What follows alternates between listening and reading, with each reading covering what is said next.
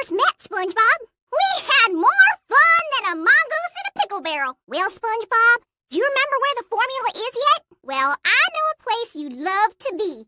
A little place called Karate Town. Well, here's something that I want to show you. Well, this here, maybe, maybe. I'm looking for that spaceship, but, well, this is that sound. Well, do you mean I'm a looky here, but looking for a, a big red truck. Do you mean I'm looking for the big red truck? Oh boy. Do you mean I'm looking for Spider-Man? Well, well, it must be around here somewhere. well, do you mean I'm looking for the the big biggest of all?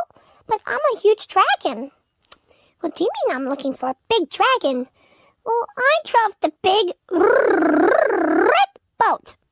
Do you mean I'm looking for a red boat? It means I'm looking for rock music. oh well. Well, so much for doing a musical. Well, I can play an iTunes. Accepted that I was right. Um, that is, after I threw all his instruction pages off the cloud in a rage. Oh, I just feel the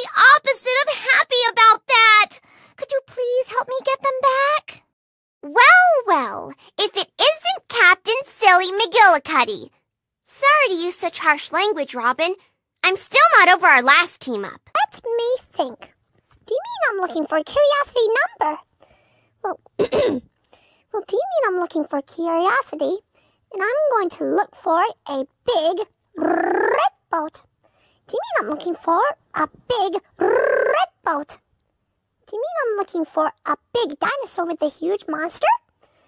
That's good. Looking for the big sheep? Oh, oh no, I didn't find any sheep. Do you mean I'm looking... Mm, well then, do you mean I'm, I'm looking... Mm, I don't see it anywhere, but just choose. Maybe I'm looking for the big red boat. the big red boat.